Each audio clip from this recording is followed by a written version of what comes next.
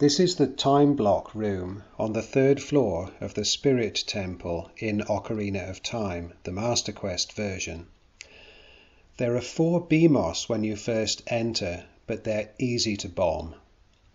I found this time block puzzle too confusing to be fun, so when I'd worked it out I thought I'd share the key information here. You soon find that the Song of Time exposes a switch, and when you stand on it, the exit door opens. However, stepping off the switch closes the door again, so we need to find a box somewhere. The only box in the room is up there on top of a time block, but you can't hookshot it down or get up there to grab it. Experimenting with the Song of Time makes the upper block rise and fall. It can be above the script panel or in front of it. You may notice that when the upper block rises, the box falls to the ground, even though ground in this case seems to be the bottom of one of those infinite chasms that crop up frequently in Zelda. Also, the lower block moves from covering the switch to a position underneath the upper block and back again. Clearly, we need to drop the box from the upper block at a time when the lower block can catch it.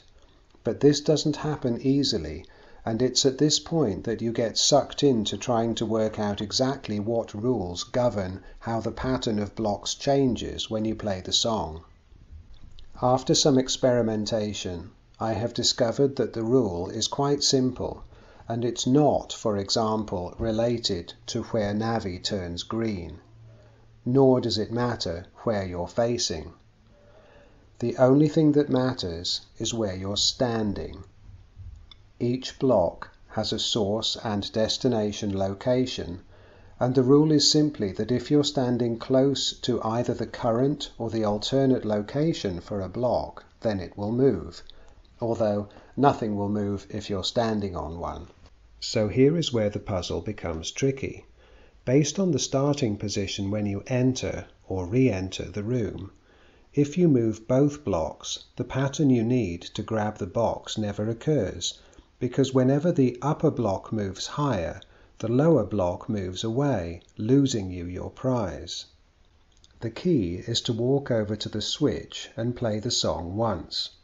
You can move only the lower block by playing the song here. Now the block positions are synchronized the way you want, and if you move back to the upper block, playing the song a second time solves your puzzle.